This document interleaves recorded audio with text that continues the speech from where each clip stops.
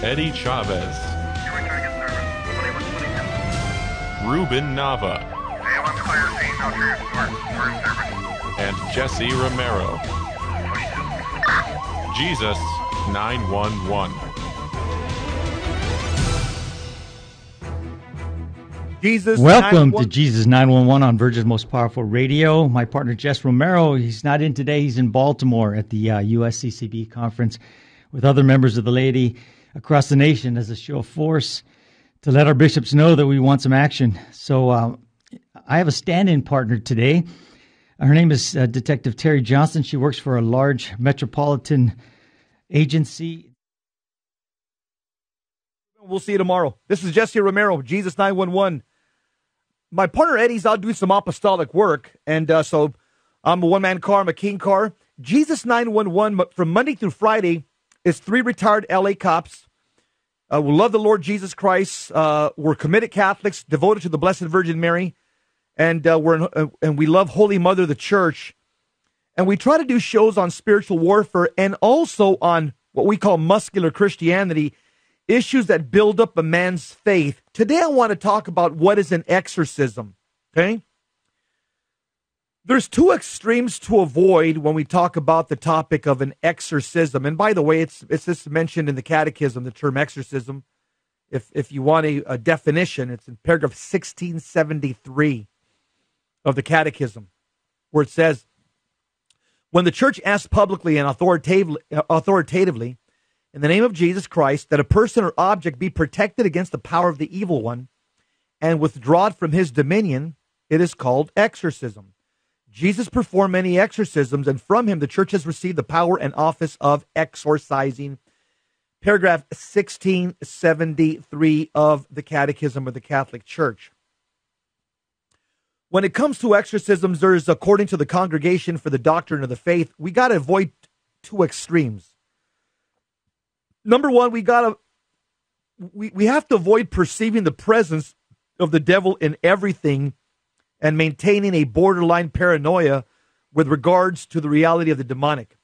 The second thing we have to avoid is we have to avoid ignoring or or denying altogether the reality of Satan and of the demons and the reality of spiritual warfare that every Christian faces to some degree every single day.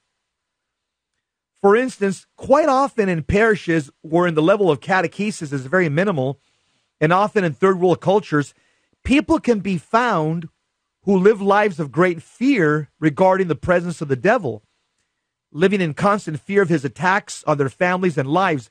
Likewise, quite often amongst the Western cultures, the various university settings where people, you know, consider themselves more sophisticated and more erudite. Again, frequently amongst uh, Catholic universities and even among Catholic clergy worldwide, the reality of uh, the demonic is, is altogether denied and perceived as foolish, outdated, or simply naive. It just reminds me of the of the top Jesuit Father Arturo Sosa, who uh, was on record denying the reality of Satan. Can you believe that?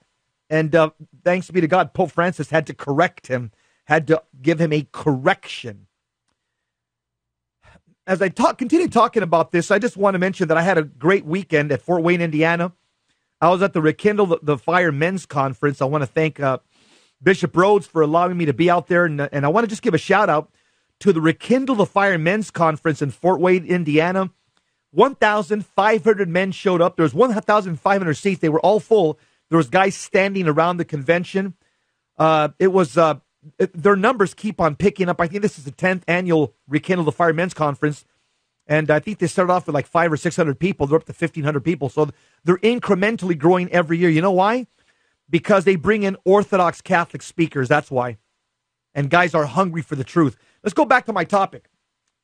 On July 16th, 2009, Cardinal Norberto Rivera, the Cardinal Archbishop of Mexico City, he gave a talk to the exorcist of Mexico and he made note of these two extremes to avoid. He accentuated the fact that we must never fall into the trap of denying the existence of Satan. Here's what he said, okay? And uh, he said the existence of the devil must be taken as a fact without exaggerating or minimizing his actions out of skepticism or credulity taken to the extreme. Skepticism leads many to deny the existence of the devil and dismiss his actions as psychological, sociocultural, or paranormal phenomena. Others, out of extreme gullibility, see the devil everywhere and grant him supernatural powers as if he were God, which is another error. There's been a hard battle against the powers of darkness, which began at the origins of the world and will endure until the last day of planet Earth, according to the, what the Lord Jesus Christ said. So that's a balanced view of the diabolical. And even back in 1979, under Pope Paul VI, the Congregation for the Doctrine of the Faith, they put out this statement on the reality of the devil. They said, quote, People are asking whether there should not be a revision of doctrine on this point regarding Satan. Some critics, believing that they can define Jesus' own position, claim that none of his words guarantees demonic reality. The existence of demonic reality, they say, no longer has a call on our faith today, and that we're free to reject it. For, for still others, the idea of Satan, whatever its origin may have been, has lost its importance. If we were to continue to insist on it, our teaching would lose all credibility. For all the above, finally, the names of Satan and of the devil are only mythical or functional personifications, the significance of which is solely to undermine the dramatic fashion, the hold which evil uh, and sin have on mankind. So, the CDF back in 1975 goes on to accentuate that such an understanding and, and foolhardy denial of the reality of this of satanic activity places a Catholic outside the realm of authentic Catholic doctrine and the teachings of the early church fathers and of the councils. Both of these extremes lead us away from God, the revealed teachings, and the doctrine of the church, and the grace is made available to us via the sacraments and the Blessed Virgin Mary. Satan hates the mother of God, and Satan flees her presence. And it's for this reason that the saints and the church have often suggested to us to make a consecration to Mary each day or at least once a year. If you haven't consecrated yourself to Mary, here's the basic consecration prayer. And this protects you from the diabolical because the devil fears, demons fear the Blessed Virgin Mary. Repeat after me in the name of the Father, Son, and of the Holy Spirit. Amen. I say this prayer every morning. Repeat after me. My queen, my mother, I give myself entirely to you and show my devotion to you. I consecrate to you this day my eyes, my ears, my mouth, my heart, my whole being without reserve. Wherefore, most loving mothers, I am your own. Keep me, defend me as your property and possession. Amen. In the name of the Father, Son, and of the Holy Spirit. Amen. That's a daily consecration prayer to the Blessed Virgin Mary. Demons fear her. So put yourself in the mantle of her protection every single day. If you follow the directives of the Blessed Virgin Mary at Fatima, and St. Pope John Paul II, along with the world's bishops and the Orthodox churches, that uh, consecration uh, to the Blessed Mother is extremely important. Pope John Paul II consecrated the world to the Blessed Mother on the Feast of the Annunciation on March 25th, 1984. And Pope Pius XII had previously consecrated the world to the Blessed Mother on October 31st, uh, Halloween Day, by the way, for the secularists in 1942. And regarding the pivotal, pivotal role of Mary in the battle against Satan, Cardinal Rivera from Mexico, he says this quote, Mary brings us to Jesus. She protects us and cares for us in this difficult ministry. Mary also participates in exorcisms. She herself is an exorcist and expels the devil through her sanctity. Did you catch that? Did you catch that?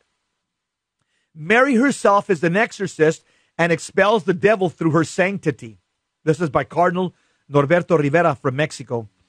It's important to point out that that an exorcism itself is, is not a sacrament, but rather a sacramental, which leads us to the sacraments.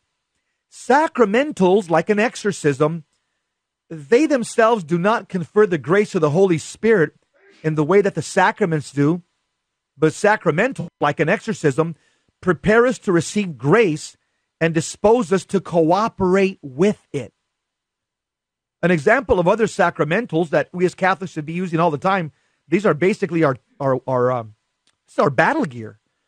Examples of sacramentals are rosaries, crucifixes, statues, holy water, and scapulars. And the most important and powerful of the sacramentals are blessings, home blessings, blessings of articles and food and people. Blessings are sacred because they consecrate the person and the articles to God. Did you catch that?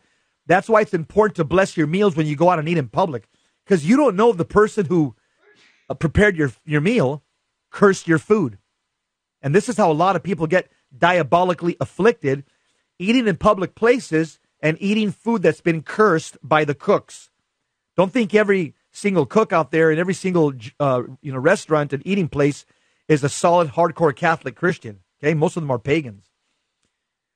You know, when a chalice is blessed for a newly ordained priest or the consecration of a new altar for a church, that's so powerful because the blessed article or item should always be respected and given proper treatment. Now, we have to admit that there's been an influence of Hollywood and the entertainment media. It's greatly deteriorated the level of proper catechesis amongst the faithful with regards to the church's teachings regarding the devil, the demons, and exorcism. And such negativity that comes from the mainstream uh, liberal media has in no way altered or harmed the ongoing teachings of the Catholic Church with regard to these matters. On the contrary, quite often when the Catholic Church has been attacked from external or internal forces, she's always responded by clarifying her doctrine more coherently. And for almost, you know, 2,000 years, 21 ecumenical councils of the church, with the exception of, of Vatican II, uh, were councils addressed heresy, schism, external forces, and even aggressive political forces. And we therefore have the expression that a council is often convoked when it is provoked. And the teachings of the Catholic Church with regards to demonology and exorcisms are no exception. And and thanks be to God. I hear the I hear the music. Jesus 911 talking about what is an exorcism, giving you exactly what the Congregation for the Doctrine of the Faith says. The Popes, this is Jesse Romero, one man car. My partner Eddie's doing some apostolic work. Shout out to the Rekindle the Men's Conference over in Fort Wayne, Indiana. We'll be back. We'll be right back. Don't change that dial.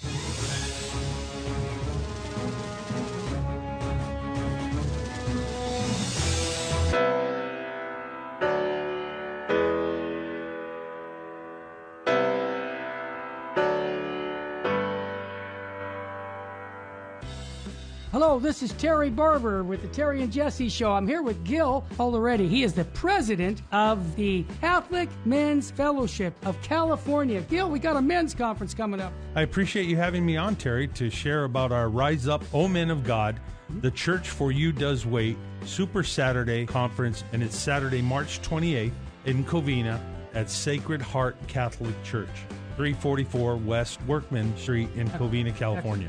Who are the speakers? We have some great speakers lined up. We have Steve Ruda, former captain of the LA Fire Department. He's dynamic, mm-hmm. he's energetic. He will really keep the conference moving. We have Monsignor Tim Nichols, the pastor from St. John Vianney's. Oh, yeah, he's, he's dynamic. Mark McElrath, Father Darren Merlino, a trained exorcist. Charlie Eshelman, a past Navy SEAL. We have Deacon Omar Uriati, who is from our parish, St. Louis de Marillac, and Father Joseph Shea, and I'll be there myself, giving a little plug for Virgin Most Powerful. You can reach us at CatholicMen.org. Tickets are on sale there. Just follow the link. Tickets are on sale at eventbrite.com. Just be sure to get your tickets now till the 31st for $35 and $45 after that till the day of the conference. Sign up for this men's conference. Call Gil at 626 841 9090. I'll be sure to answer your call and give you all the information you need for the Rise Up, O Men of God, for you, the Church Does Wait conference. Thank you, Terry. Appreciate your help. God bless you.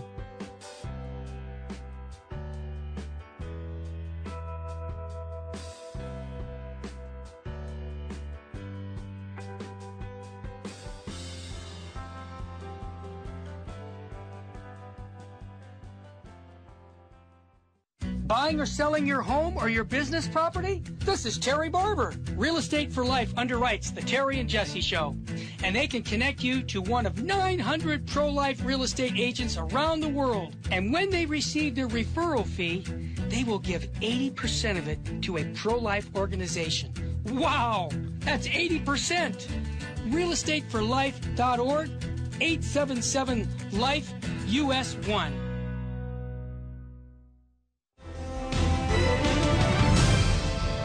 Now, back to Jesus 911.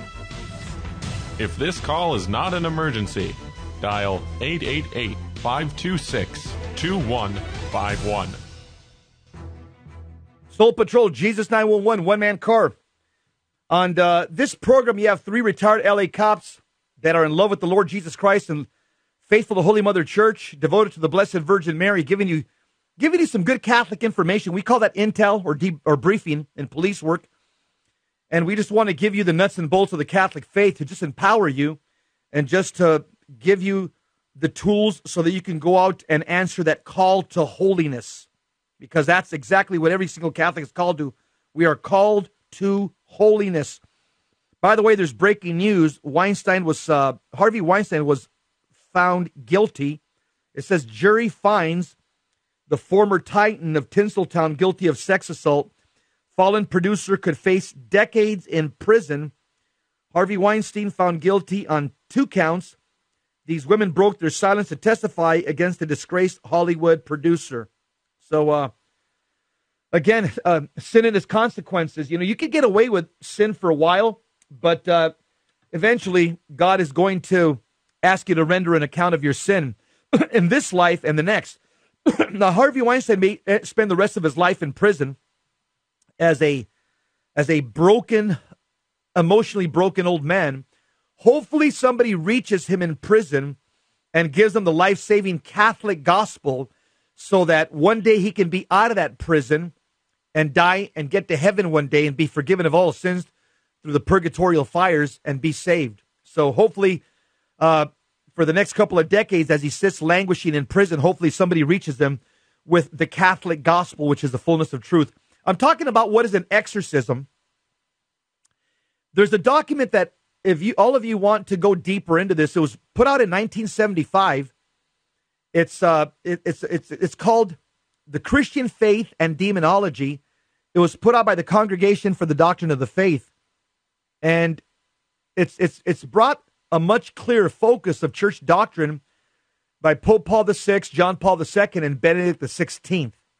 Okay, here's another another paragraph from that document, this uh, this Vatican document called uh, "In Christian Faith and Demonology." It says Satan, whom Jesus had confronted in, by his exorcisms, whom he had encountered in the desert and in his passion, cannot be the product of the human faculty of inventing fables and personifying ideas, nor can he be an erroneous relic of a primitive culture. In other words, the church is saying this stuff is real, it's not fake. Okay? Pope Paul VI himself took direct aim at the cultural and theological dangers of denying the reality of Satan. He basically answered the modernists back in 1972. He said this quote, There is this terrible, mysterious, and frightening reality of evil and he who refuses to recognize the devil's existence departs from the integrity of biblical and ecclesiastical teaching. Neither exegetes nor theologians can neglect this caution. Close quote, Pope Paul VI. And let's go back to the very first Pope, 1 Peter chapter 5, verse 8 and 9. St. Peter exhorts the faithful of the Catholic Church to stay alert and to be vigilant against the attacks of the devil. Here's what the first Pope says, quote, Be sober, and vigilant. Your opponent, the devil, is prowling around like a roaring lion looking for someone to devour. Resist him steadfast in faith. Look at verse 9. When people say, Oh, the devil made me do it, I can't. Get out of here. Okay, that's not what the church teaches. The Bible says in 1 Peter chapter 5, verse 9, that we can resist the devil. How? By doing push-ups, pull-ups? No. Steadfast in faith. By your Catholic faith. Okay? As soon as you start feeling those attacks, those mental attacks, start going into prayer mode. Okay? When you start going into prayer mode, which is the Holy Rosary, if you don't remember anything, the Angelus, the Chaplet of the Divine Mercy, start calling upon the name of Jesus or Mary. What happens? That means that you're able to, when you start praying, you, st- you take custody of your intellect. And that's how you can resist this demonic thought tampering or this demonic projection. Okay? Jesus himself addressed Peter with these very words in the Garden of Gethsemane. In Matthew 26, verse 40 to 41, our blessed Lord said to Peter, quote, he, so he said to Peter, So you could not keep watch with me for one hour. Watch and pray that you may not undergo the test. The spirit is willing, but the flesh is weak. The word of the Lord. This readiness that our Lord speaks of and, and this sobriety, which is addressed by the Apostle Peter, brings us back to the old adage know thyself. We should strive to be aware of our own weaknesses while simultaneously trusting the divine mercy of our Lord. And we should seek constantly the grace of the sacraments and the teachings of the faith and stay focused on the blessed sacrament and the Blessed Virgin Mary as our compass and our guide. That's the way we live a sober and a vigilant life. Okay? I just told you. How do you live a sober and a vigilant life? Trust in the divine mercy of Jesus. Seek the grace of the sacraments often. Know the teachings of the church and follow them. Stay focused on the blessed sacrament and, and, and stay focused on the blessed Virgin Mary as our compass and guide to heaven. That's how you stay sober and vigilant against the devil. So, who can be an exorcist? According to canon law 1172, no one can legitimately perform exorcisms over the possessed unless he's obtained special permission from the local ordinary, which is the bishop. And the Code of Canon Law goes on to point out that, quote, such permission from the, from the bishop is to be granted only to a presbyter, a priest, endowed with piety, knowledge, prudence, and integrity of life. So the bishop make sure he picks out a priest that's uh, basically somebody who's who stands out amongst his brother priests, to be honest with you. Only a priest with proper experience and holiness and knowledge of theology should undertake to perform an exorcism. There have been many instances when the demon being possessed has publicly acknowledged the sins of the priest or the individual attempting the exorcism in full view of those that are present, especially if you're in mortal sin. And more than this, though, is the desire of the church to heal the person of the demoniac affliction. There are many instances of those who become possessed or oppressed by way of their own fault, which is usually the case, such as involvement in satanic cults or rituals or Ouija boards, necromancy, tarot cards, New Age activities. It is sometimes the case wherein the person himself is in no way responsible for demonic presence. An example would be parents who offer up their children in satanic cults or satanic rituals. That happens.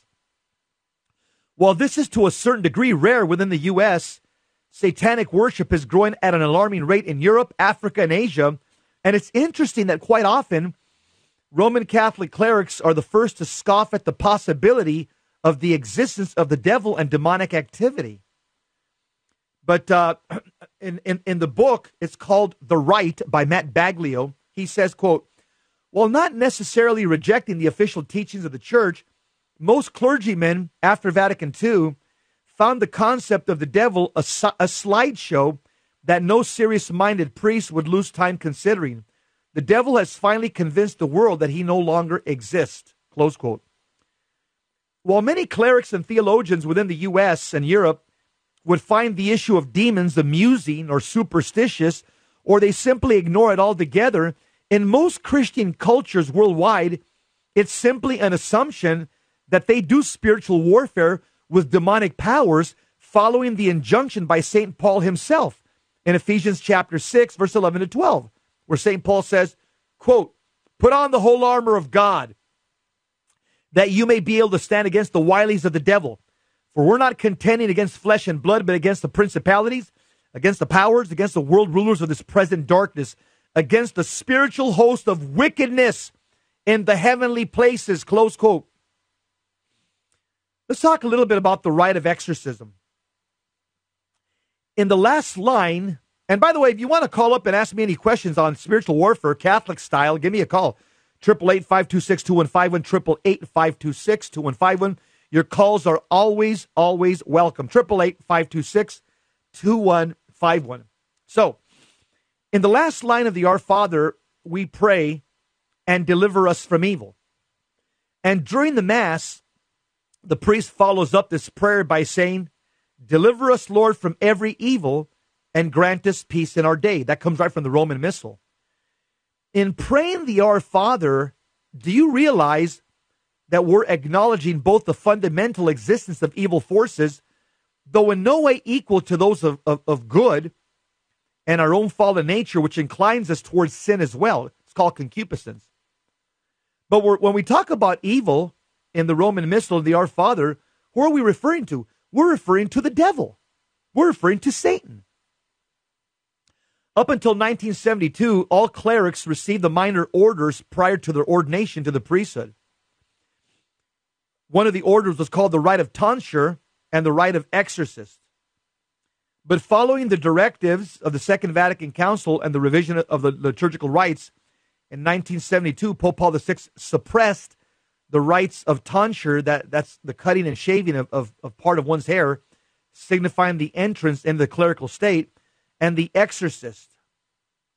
At this point, the actual entrance into the clerical state began with the ordination to the diaconate, transitional or permanent. Referring to this, Pope Paul VI notes in his in his uh, motu proprio ad pascendum. He says, since entrance into the clerical state is deferred until the diaconate, there no longer exists the rite the, the rite of first tonsure by which a layman used to become a cleric. But a new rite is introduced termed candidacy, by which one who aspires to ordination as a deacon or priest publicly manifests his will to offer himself to God and the church so that he may exercise a sacred order. And during the pontificate of Pope Paul VI, and nearly all of the liturgical rites that were updated and revised, though always maintaining the same primary structure as tradition held, the last of these rites to be updated following the Second Vatican Council was the rite of exorcism in January 26, 1998. My name is Jesse Romero, one man car. We're talking about what is an exorcism, and I'm going to go into the next uh, segment about when the rite of exorcism was changed and why was it changed. You don't want to miss this. Is all good Catholic intel. Don't turn that dial.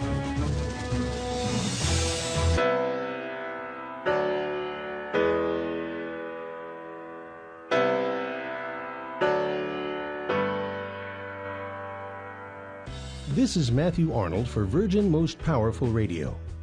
This March, VMPR, in association with the Catholic Resource Center, will be hosting a special conference for the Adoramus Society. Adoramus at the Triduum, a conference on the spirituality of the Triduum liturgies, featuring speakers Father Joseph Fessio, Dr. Anthony Lilles, and Christopher Carstens, addressing such topics as developing a liturgical spirituality, the spirituality of Holy Thursday, the spirituality of Good Friday, and the spirituality of the Paschal Vigil and Easter season. It all takes place March 14, 2020, at the historic Sacred Heart Chapel at 381 West Center Street, Covina, California 91723. You can register online at vmpr.org or call now at 877 526 2151 to reserve your seat today for Adoramus at the Triduum.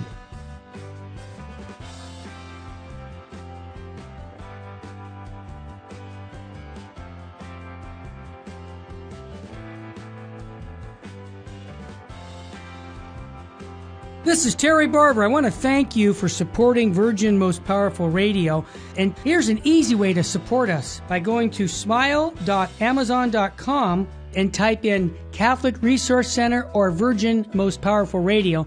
And when you log in your Amazon account and you purchase products, a portion of it will go right back in supporting Virgin Most Powerful Radio. And it doesn't cost you a dime. I want to thank you ahead of time because that supports us year round. May God bless you and your family.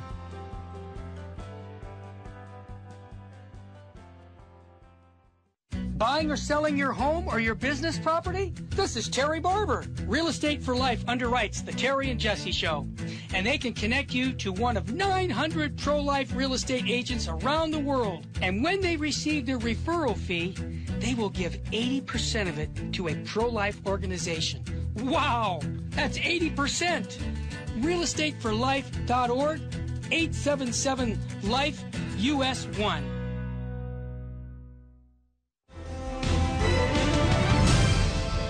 Now, back to Jesus 911. If this call is not an emergency, dial 888 526 2151. Soul Patrol, one man car. They call it a king car. My name is Jesse Romero. I do this program Monday through Friday with uh, Ruben Nava, retired sergeant from the LA Sheriff's Department, uh, Eddie Chavez, retired sergeant from the California Highway Patrol. Three Catholics that are in love with the Lord Jesus Christ, faithful to Holy Mother Church, devoted to the Blessed Virgin Mary, militantly Orthodox, and we do a Monday through Friday show to raise people's awareness of spiritual warfare of the diabolical, and especially about the power and the lordship of God the Father, Son, and Holy Spirit, and the powerful intercession of the Blessed Virgin Mary as regards to spiritual warfare. And we also talk on issues that raise the faith of Catholic men, what we call muscular Christianity where we challenge men to answer the call to holiness. I'm talking today about what is an exorcism, and I'm giving all the nuances of an exorcism. All the the what, where, when, how, who, and when, and, and everything that you do in a police report. So the the rite of exorcism was revised by the Catholic Church for the first time in 1614. Okay, that was uh, the first time it was ever revised. And, and in 1998, there's been the Second Vatican Council, post Vatican II, they've revised the rite of exorcism again in 1998. It's, it's, it's now an 84 page new rite.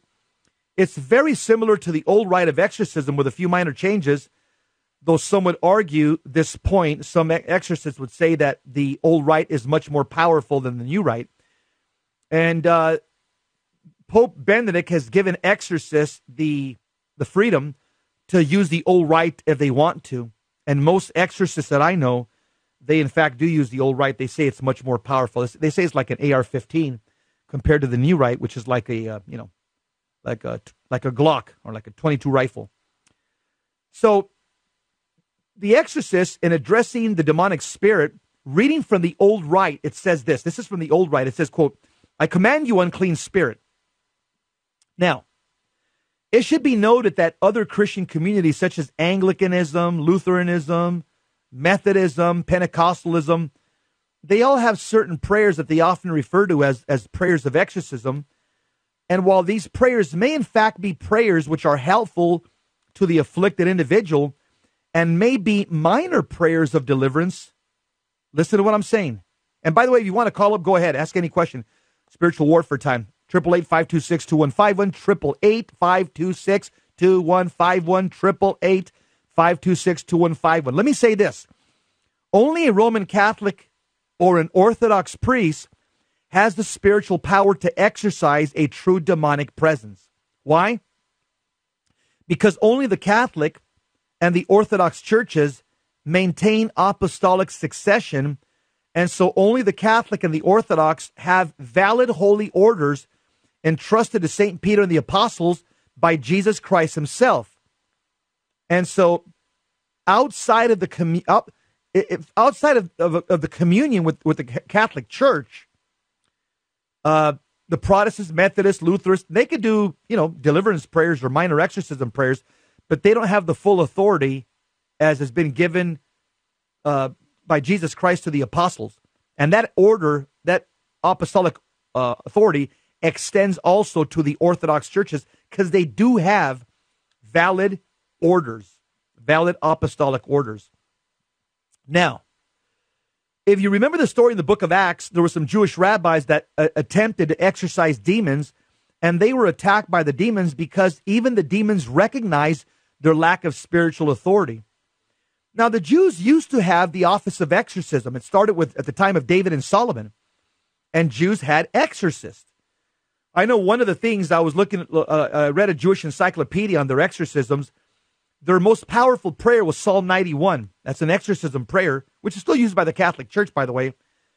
And they would walk around the possessed person, and it's like like like the possessed person, you know, is is in the middle, and they'd walk around, you know, walk around and around like a merry-go-round, and they would be singing in Hebrew Psalm 91, and they would be singing in Hebrew other chants uh, from the from the from the Hebrew scriptures that were powerful to drive out the diabolical.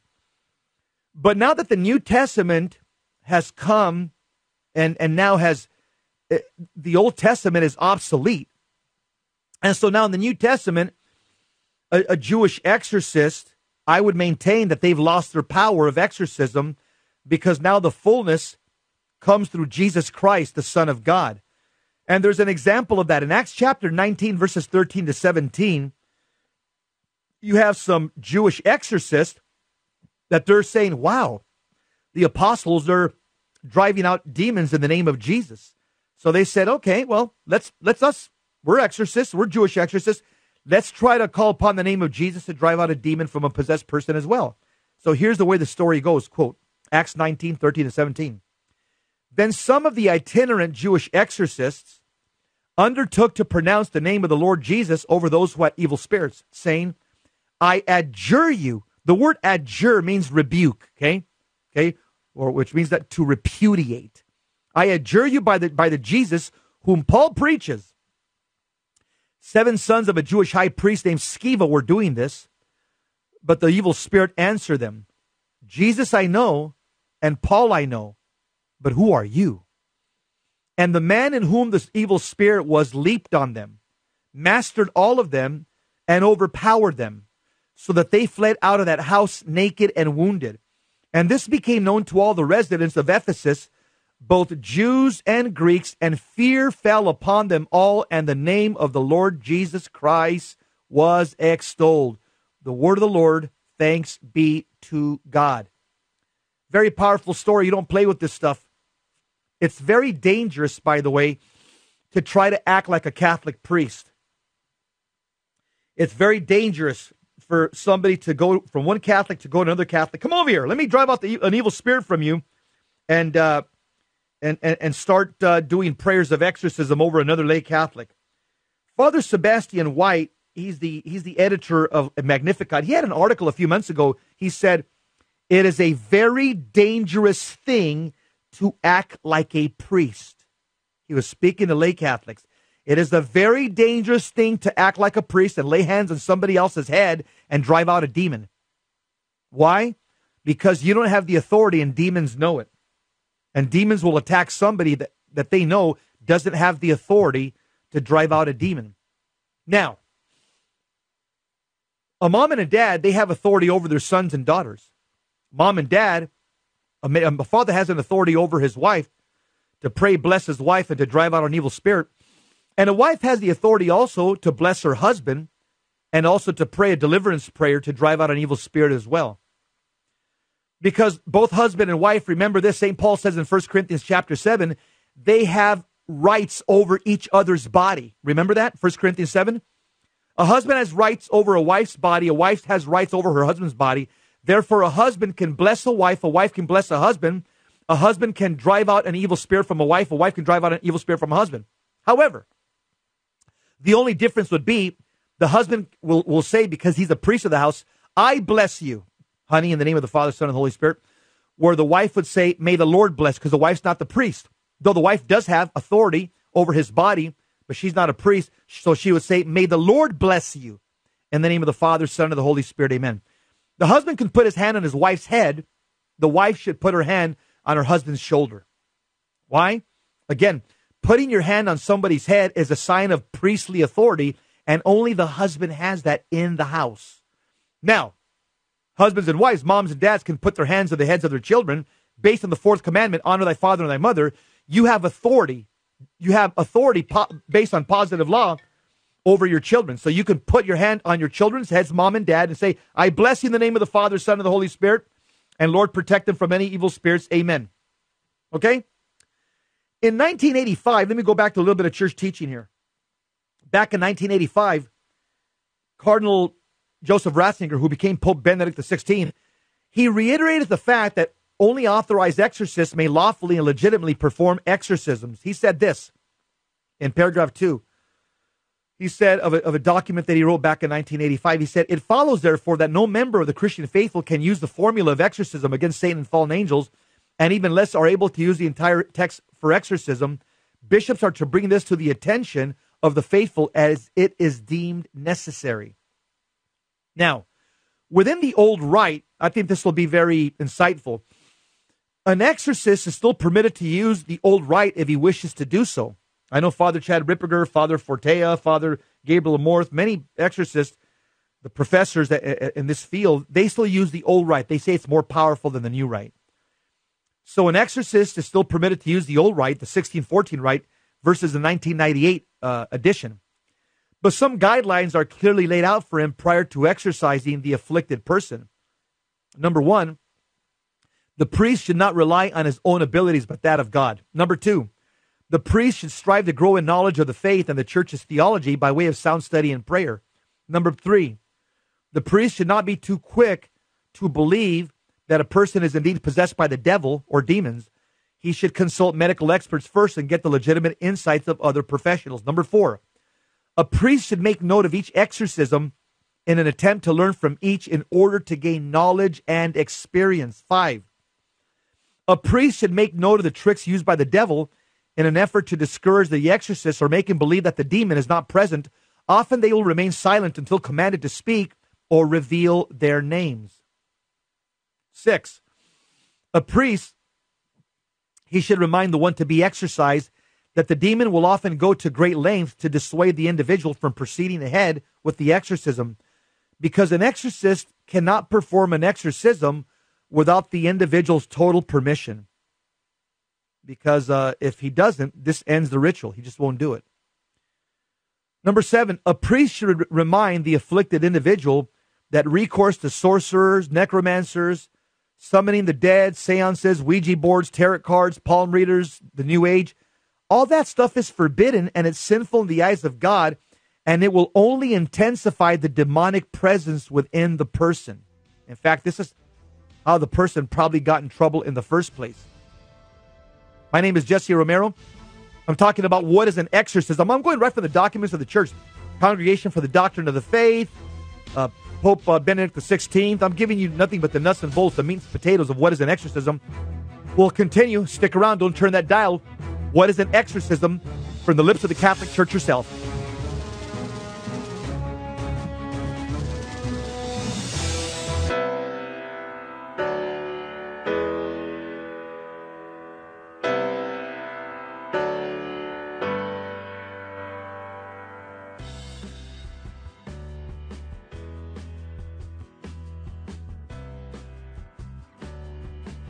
We finally did it we have a Catholic Mental Health Conference on April 25th, 2020, here at the Sacred Heart Chapel with Dr. Louis Sandoval. He's going to be speaking on the basics of mental illness versus what we consider normal. Number one, he's going to go on the basics of mental illness versus what we consider normal. Second hour, depression, anxiety versus oppression and obsession. The third hour, bipolar disorders. Oh my gosh, infestation and possession going to talk on mental health with the spiritual aspect. Number four, talk will be on drug use, altered mental status versus demonic influence. I want to hear that talk. I hope you do too. Go to virginmostpowerfulradio.org or call us at 877 526 2151. The date is April 25th, 2020. Be there by calling 877 526 2151. God bless you.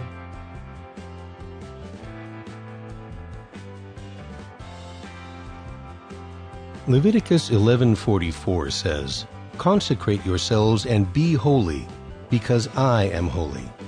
St. Vincent Pallotti said, "You must be holy in the way God asks you to be holy." God does not ask you to be a Trappist monk or a hermit. He wants you to sanctify the world and your everyday life. May God show us the path to holiness and help us to follow it all the days of our life.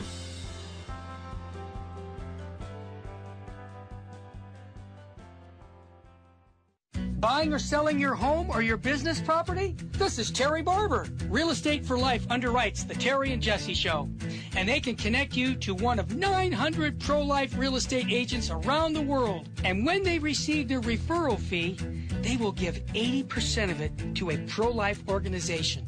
Wow! That's 80%! realestateforlife.org 877 Life US 1.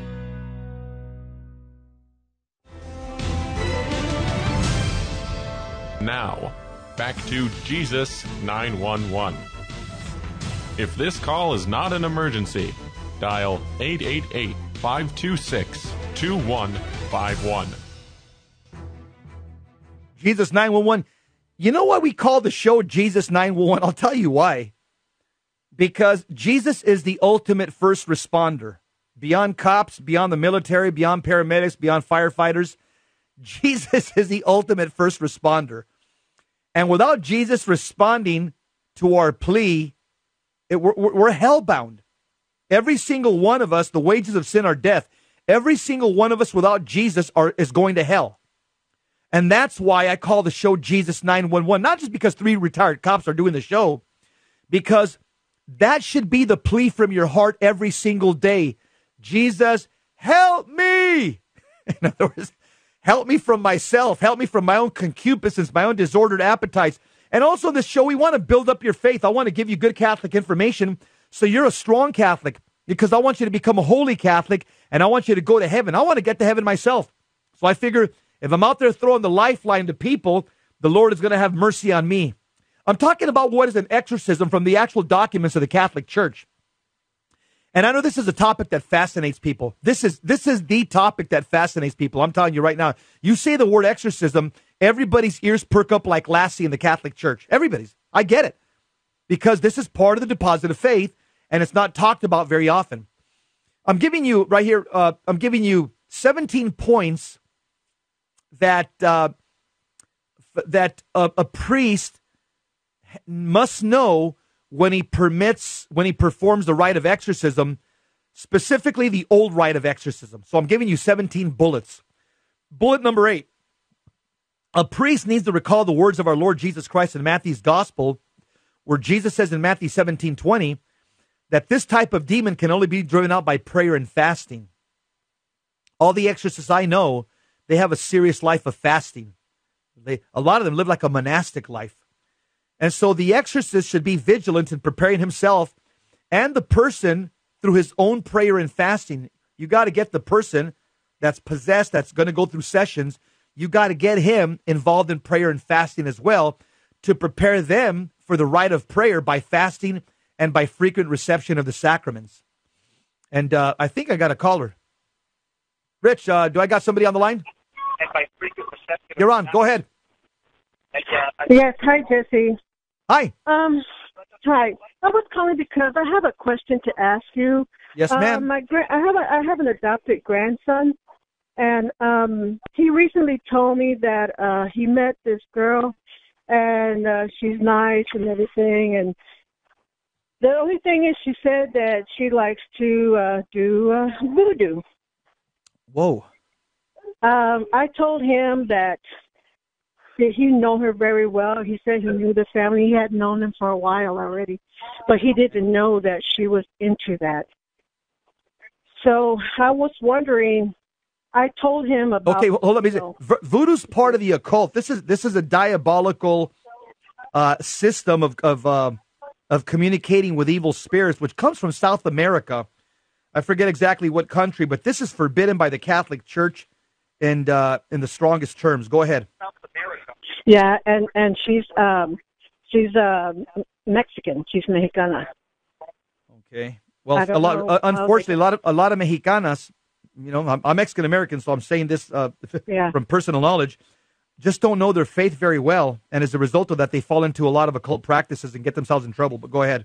hmm Does he need to stay away from her? I would say he would because I don't I don't like the idea that uh he's been talking with her. And he's been watching your show with me at times when he's here with me. So he knows what you've been saying, you and, and you know, and and, um, and Eddie and all them. So he that's why he came and told me. Okay, here's what I would say. This is your your grandson, right? And that's Yeah, good. I'm glad that you're a good grandma. You're letting him listen to the show. This is I think every Catholic teenager should be listening to my show, not because it's so good. It's because I'm talking about things that they need to know about. And this is not talked about in, you know, Sunday homilies, generally speaking. Um, if unless your your grandson is is a solid Catholic, where he can evangelize her, uh, where he can bring her to Christ. If that's what he's trying to do, bring this person to know Jesus and to, and to church and to a life of prayer and the sacraments, then he should continue that relationship. But that relationship would be based on one on evangelization, not one of curiosity. If he's going to be have a relationship with this girl out of curiosity, like, so what is voodoo? I never heard about that. That's dangerous. That could get him in trouble. And especially in voodoo, they start doing what's called incantations or hexes and curses. And so who knows? Uh, if, if your grandson's in his in her life, and let's say she starts falling in love with your grandson, and your grandson doesn't reciprocate that that that infatuation right back, she can start cursing him and hexing him. And uh, if your Yeah. grandson is not in a state of grace, if he's in mortal sin, and it's not, e- it's not, it's, it's easy to fall in mortal sin when you're a young person. If he's in mortal sin, those curses become effective and could affect him. And especially, Lord forbid, but if, if they start having a fornicating relationship, which is common, Right. Uh, because once they start fornicating, if this person's into voodoo, now you have another problem. You're, it's called not only are you in mortal sin because of fornication, but it's even worse because it's with somebody who's a part of the occult. Now you have what's called a soul tie, a soul tie. So there could be demonic transference. If this woman, which without a doubt, there has to be some type of diabolical activity within her. If she's into voodoo, she's already invited the demonic into her body and into her life by having a fornicating ex- relationships with your grandson. I hope that's not happening, but you're you you get demonic transference or what's called soul ties, and now your son can be your grandson can be even uh, affected at a higher level. hmm Where's where's the mom and dad of your grandson right now? Where are they in the picture anywhere? Um, no, my grandson. Well, he's not here. Um, he's my adopted grandson. Um, my son adopted him uh, as a. He was already nine or ten years old when he got adopted. He's 21 now. The mother never baptized him. That needs to happen. Absolutely. The father, yeah, the father has has uh, really nothing to do with him. Um, so we're trying to, you know, install all of this in him, you know, as the years go by. But I think that's the reason why he came and told me about her, because he knows already how we feel about all this, and and and also, like I said, he's been watching your program with me. When Praise God, here. he knows enough. You know, even though he's not baptized, the Holy Spirit through natural law has revealed that this is wrong in his heart. But we we need to get him baptized as soon as possible and get him through an, a good RCIA program because baptism is a mm-hmm. minor exorcism. A baptism is going to protect him from from diabolical attack, especially if he's having a relationship with a with a girl that's involved in voodoo. Yeah. We got to get him have- baptized as soon as possible, and we got to get him in a good in a parish through an RCIA program, so he so his his mind becomes formed with with the Word of God, and he starts entering into a life of prayer, and that takes custody of his intellect from diabolical attacks. right, right. Start praying for him every night, know- Grandma. I want you to start praying for him every night. Okay, I want you to go Yes, I and I want I want you to I want you to let, put your get a blessed object. I know you got blessed objects in your house, right? Yes, I do. Okay, get a blessed object like a blessed crucifix or something. Put it on his shoulder or on his neck. And every night say, I bless you, grandson, in the name of the Father and of the Son and of the Holy Spirit. And Lord God, protect him from any evil spirits. Amen. I want you to do that every night. Put a blessed object on his shoulder or on his neck. And I want you to say, I bless you in the name of the Father and of the Son and of the Holy Spirit. And Lord God, drive away any evil spirits from him. Amen. Do that every single night. That he's going to stay protected by your prayers because the Bible says the prayers of a righteous person has much power. And grandparents do have uh, power in their prayer over their grands, grandkids, not as much as the parents, but but nonetheless, because they're part of your family line, you still have power over them uh, based on based on natural law. So start blessing them every night and telling them, uh, grandson, I need to get you to baptize and into an RCIA program. This is the, Yeah. this is the most important thing that we can do for you as grandparents. Yes, and the thing is, he does want to get baptized. Um, I tried calling the church, but the church said I couldn't do anything. It's because he's already 21, and I have not. I can't do anything for him. He has to go willingly. Right, right. So walk him over there. Say, Yeah. come on, let's go. Let's go to the rectory. You're going to Yeah. sign up for RCA. I'm going to I'm going to walk with you. Yeah, and and I told him, I said, we'll all go, all all my family, we'll all go. You know, Absolutely. Kind of, yeah, he's. And one of you, uh, one of you sit in the classes with him, just accompany him. It's actually good for somebody to sit in the classes. You know why? yeah, Because then that person wants, goes. I will. Yeah, that person, you're going to go through the Catholic faith yourself and say, oh, I didn't know that. Oh, I didn't know that. It's going to be good for you as well. So, you know, whoever's going to sponsor him into the church, sit in the classes with him to show that you guys are interested in, in what he's learning as well. And it's going to just strengthen what you already know. hmm Okay? All right, thank you, Jesse. Yeah, and you know what? God bless you. Uh, go, go on the internet and get Father Ripperger's prayers. They're called Auxilium Christianorum. They're on the internet. You can put them on your iPhone. Auxilium Christianorum, and start praying those prayers every night. Those are evening Oh, prayers to bind evil. Yeah, it's Yeah, I pray it's them every day. okay. You pray them every day. Every day. Good. Don't stop. Okay, Tho- those are binding prayers that should be prayed in the evening, and they pr- keep your family and your household protected from the diabolical. As a matter of fact, your your grandson's not baptized. The fact that he hasn't fallen into voodoo and he's actually told you about it, and he's curious about listening to this show. You know why? Because of those prayers you're praying. You're the one that's keeping the, the, the attacks from the diabolical from, from taking full effect on him through your prayers and your faith and your holiness. So keep it up, Grandma, because this is a fight for his soul. Yeah. All right, Okay. I will. I will. All right. All right, God thank bless you. God bless you too.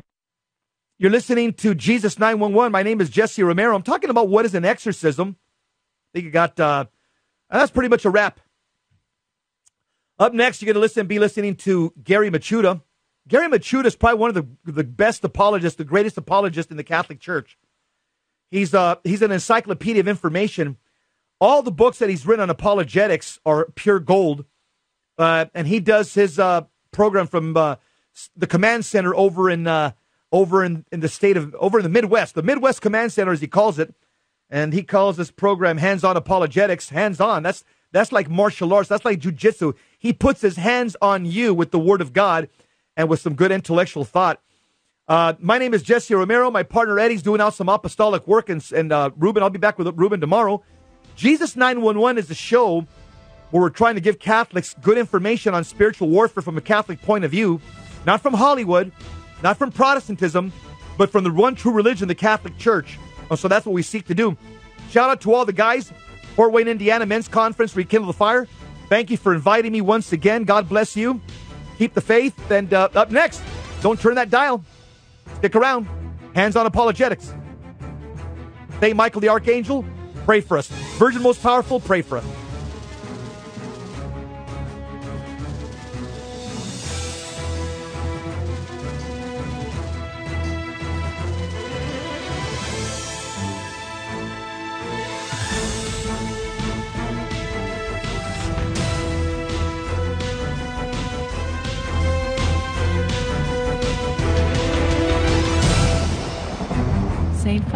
Faustina's Prayer for Priests.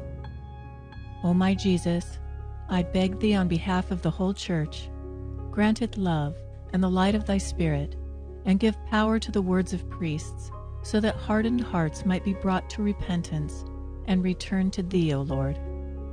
Lord, give us holy priests. Thou thyself maintain them in holiness. O divine and great high priest, May the power of thy mercy accompany them everywhere, and protect them from the devil's traps and snares, which are continually being set for the souls of priests. May the power of thy mercy, O Lord, shatter and bring to naught all that might tarnish the sanctity of priests. For thou canst do all things. Amen. Virgin most powerful, pray for us.